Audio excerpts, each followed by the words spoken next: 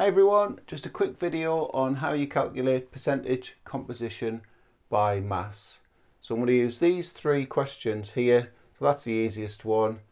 It's a little bit more difficult and number three is the most difficult, but it's not that bad honestly, uh, once you've got your head around the method. So for the first question, we've got to calculate the percentage composition by mass of copper in copper 2 oxide.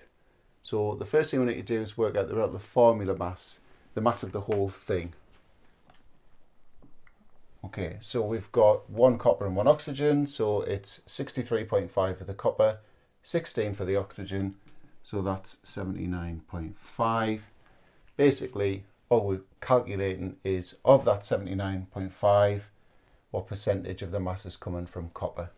So the way we do that is we take the mass of copper, 63.5, divide by the total, 79.5 times 100 puts it into a percentage and that comes out at 79.9%. So nice and easy. The second one's a little bit trickier because we've got two nitrogens in ammonium nitrate. Method's exactly the same. So first thing I'm going to do is work out the relative formula mass. So we've got two nitrogens, four hydrogens and three oxygens. So that comes out at 80.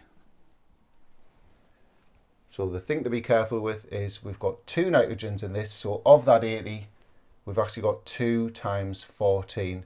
So 28 is contributing to that 80. So 28, I put 2 times 14 in a bracket. So 28 over 80 times 100 and that comes out at 35%. Okay, so the last one, um, what's the percentage composition by mass of H2O in this um, compound? This is called hydrated magnesium sulfate.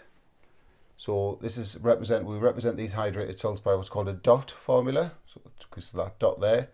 And basically it separates two part, the two parts of the salt. So we've got this part here. So there's one of those, and then there's seven waters. So the relative formula mass of this comes out at 246.4. So what's the percentage composition by mass of H2O in that? Well, there's seven H2Os that make up that total mass. So we're going to put 7 times 18 on the top, divide by the total, 246.4 multiply by 100 and the answer comes out at 51.1%. So that's how you do it.